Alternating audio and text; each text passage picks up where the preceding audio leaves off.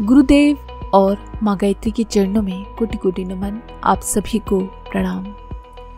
गायत्री महामंत्र की महत्ता इस प्रवचन में पिछली बार गुरुदेव ने बताया था कि मानव का शरीर यंत्र की तरह काम करता है।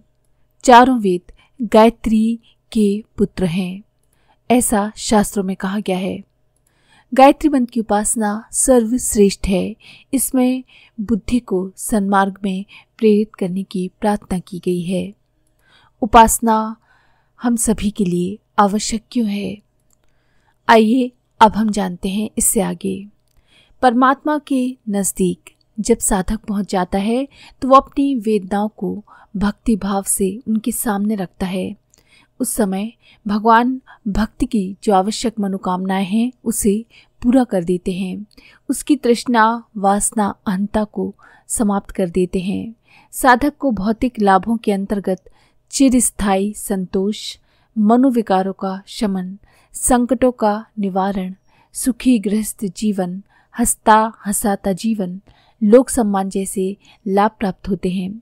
इसके साथ ही उनका परिष्कृत स्वभाव दैवी अनुग्रह, सेवा की भावना जैसे आध्यात्मिक लाभ साधक को मिलने लगते हैं, जिससे वो नर से नारायण बन जाता है। आगे गुरुदेव कहते हैं, हमारे पास तपोभूमि में नित्य एक न एक व्यक्ति आते रहते हैं, जिनकी समस्याएँ होती हैं। हमने गायत्री उपासना के माध्यम से उन्हें राहत पहुँचाने का काम किया है। एक मध्य प्रदेश की प्रधान अध्यापिका आती थी। उसे नींद नहीं आती थी तथा हमेशा रोती रहती थी। हमने उसे ठीक कर दिया। अब उसको नींद आ जाती है। एक बार हमारे पास एक सेठ जी आए। उनका इनकम टैक्स का घोटाला था। वे परेशान थे। उनके पास कुल पूंजी बत्तीस लाख रुपए थी। इनकम टैक्स का दस लाख रुपए देना था। वे परेशान थे। हमारे कहने पर उन्हें शांति मिली। हमने कहा कि आपके दस चली जाएँगे तो भी आपके पास बाईस लाख तो बचेंगे। आप परेशान क्यों हैं? फ़िलहाल तो जाएगा नहीं। अगर चला भी जाएगा तो भी तेरी कमी पूरी हो जाएगी। हमने उसे गायत्री मंत्र के जप के लिए कहा और उनकी बुद्धि में बदलाव आ गया। बेटे इस मंत्र की महान शक्ति है। पहले जमाने में संत महात्माओं के पास गायत्री मंत्र का बल होता था। इसके कारण वे हर जगह विजयी होते थे।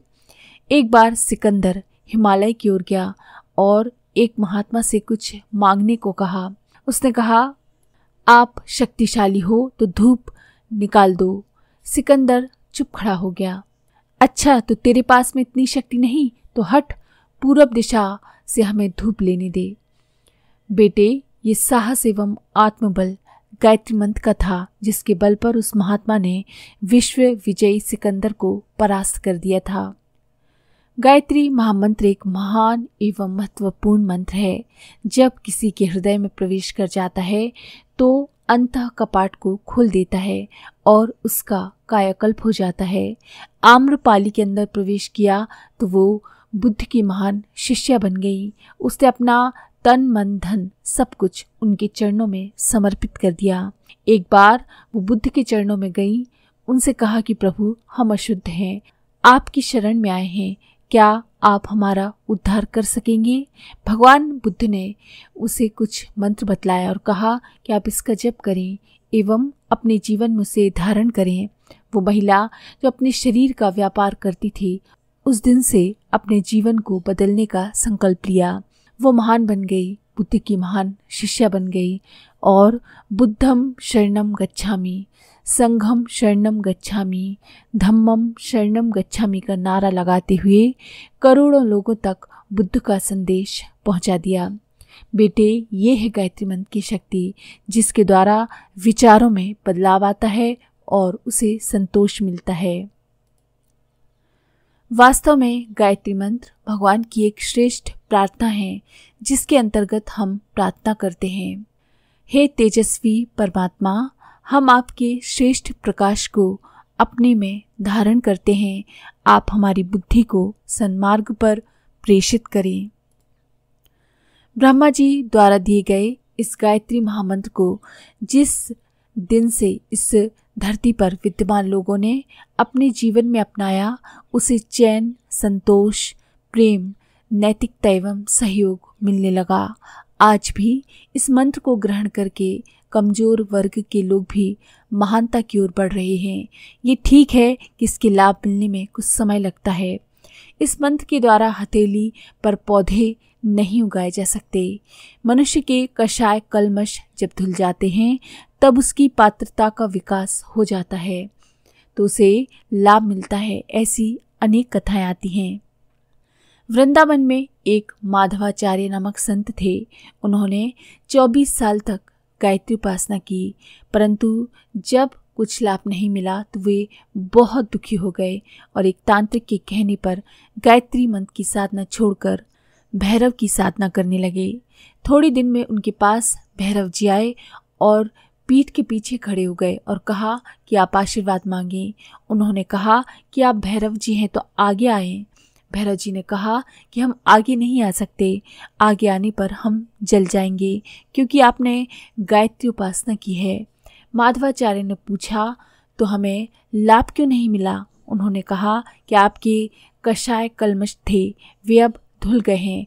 अब आपको लाभ मिलेगा। माधवाचार्य जी ने भैरव की उपासना छोड़कर पुनः गायत्री मंत्र की उपासना की और लाभ मिला। इस प्रकार 24 साल के बाद गायत्री साधना का लाभ मिला। गायत्री की साधना का चमत्कार अवर्णीय है।